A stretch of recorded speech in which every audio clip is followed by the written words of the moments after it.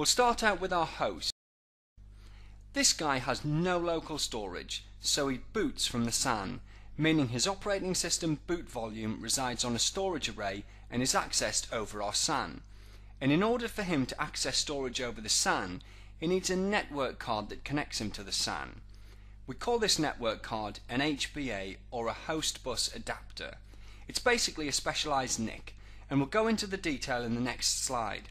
Anyway, let's add a switch. Every network needs a switch, and fiber channel storage area networks are no different.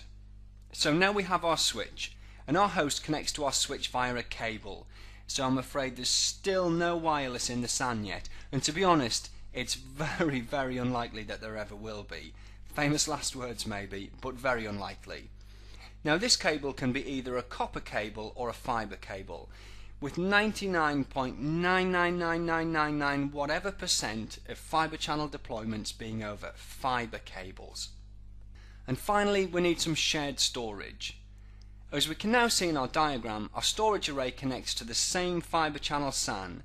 And it's as easy as that. We've got our SAN. Now then, because access to storage is so important, a server or application losing access to its storage is like taking the oxygen away from you or me. So because access to storage is so important, we almost always deploy dual redundant fabrics. This can be seen in our diagram. Now this approach gives us extensive component resiliency.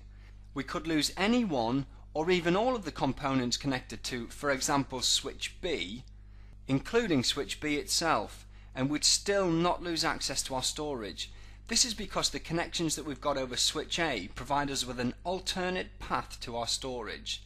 And this design principle, that of deploying dual redundant fabrics, is a hallmark of all good SAN designs. Now then, fiber channel SANs are scalable, meaning we can add more hosts, add more storage arrays, add more switches. We'll add another switch to each fabric in our example. And this is probably a good place to mention what a fabric is. A fabric in the fiber channel world is a fiber channel SAN consisting of one or more fiber channel switches that run a set of fabric services.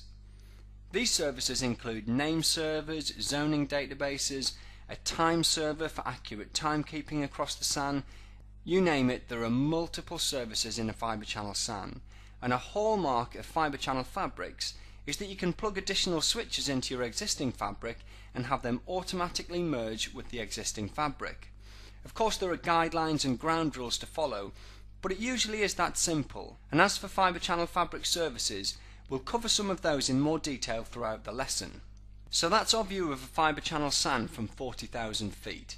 Now let's drill into some of the detail. First up, the host bus adapter card.